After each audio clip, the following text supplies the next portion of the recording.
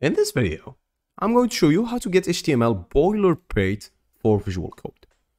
It's pretty simple, pretty straightforward. First of all, what is a boilerplate? A boilerplate is just something that you can reuse for your HTML code. As you can see, for example, just for example, this is a boilerplate where I can change the h2. If I create, for example, a head tag right here, I can even change the title and I can, or I can leave it blank. So to do so, all I have to do is go to the extensions, search boilerplate, and I could find something like HTML boilerplate. I already have it installed, but you'll have a button like this to install it. After doing so, to use this boilerplate, head to your HTML code. For example, I'm going to delete all of this, and I'm going to type HTML. And as you can see here, it says boilerplate. If I click on this, look at this.